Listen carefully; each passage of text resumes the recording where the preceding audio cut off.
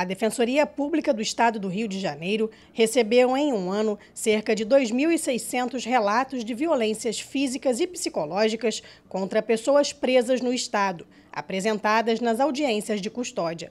Isso é o que mostra o relatório divulgado pela instituição nesta terça-feira na Alerj, no evento do Mecanismo de Prevenção e Combate à Tortura do Rio de Janeiro, em comemoração ao Dia Internacional de Apoio às Vítimas de Tortura.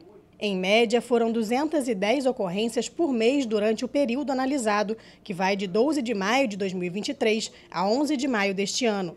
O recorte mostrou que as agressões mais frequentes foram chutes, socos e tapas, sendo 75 delas cometidas por policiais militares.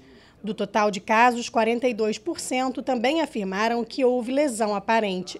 Para o defensor público André Castro, o levantamento revela uma triste realidade da cultura de violência que precisa ser repensada para diminuir esses números nos próximos anos. É o problema de uma cultura de violência que existe na sociedade como um todo e que se reflete também no momento da prisão.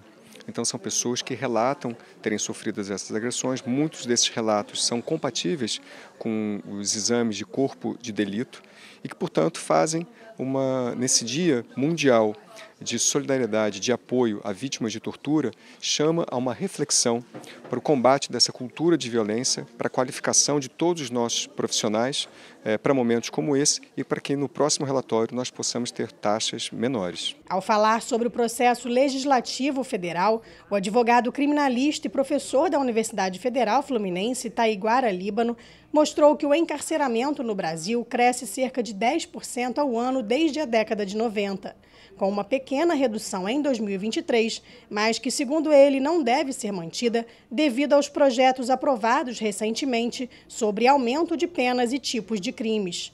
Ele também reforçou que essa produção legislativa sempre punitivista no país não é eficaz e tampouco reduz os índices de violência.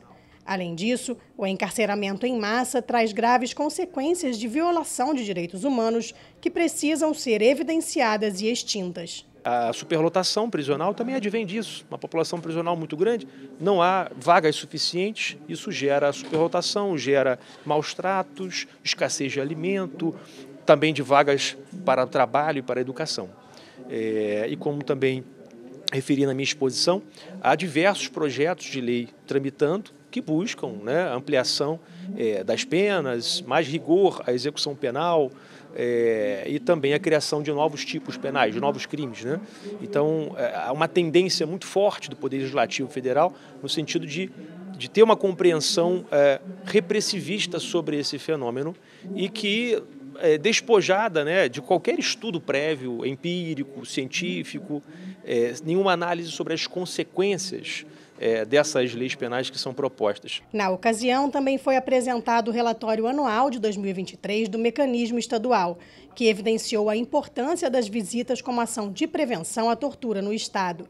Segundo integrantes do órgão, foram feitas várias visitas nas unidades prisionais do Estado e a porta de entrada e o sistema socioeducativo foram os que mais demandaram atendimento, com observância especial de violências à saúde mental dos adolescentes. Estão sendo hipermedicalizados, a gente chega, por exemplo, no PAC GC e encontra que mais de 50% das meninas que lá estão são medicalizadas tem, tomam é, medicamento psicotrópico de alguma forma. A gente presenciou, por exemplo, na unidade de campus, um adolescente que claramente não deveria estar naquele espaço, batendo a cabeça na grade, é, sozinho, isolado, e ele já é conhecidamente para ficar sozinho, isolado, porque se alguma pessoa chega perto dele, ele taca as fezes, enfim, uma questão especi muito específica, que não deveria estar lá. A única resposta que o Estado tem para esse adolescente ou então para esses outros adolescentes é continue internado, continue afastado da sociedade e isso a gente percebe que vem aumentando e que vem sido